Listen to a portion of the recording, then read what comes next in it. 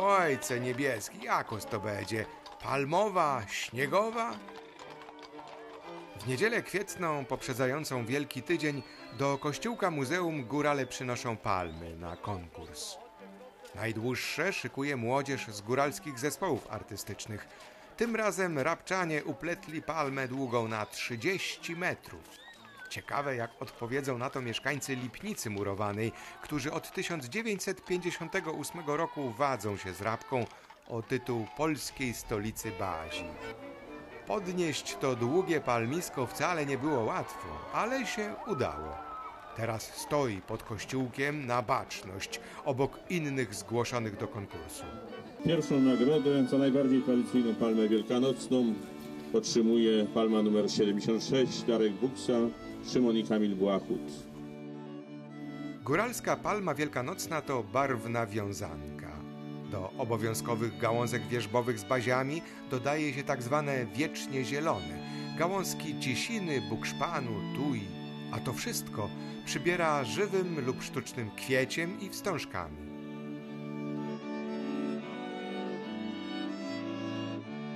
Wielki Czwartek, zwany też Cierniowym, po wsiach rozbiegali się chłopcy z kołatkami, czyniąc nimi hałas niemiłosierny i przeganiając słomianą kukłę uosabiającą Judasza.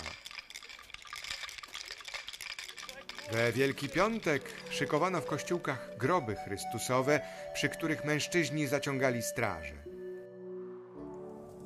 We Wielką Sobotę święcono ogień rozpalony na placu przy kościółku i wodę, którą gospodarze zabierali ze sobą do domów.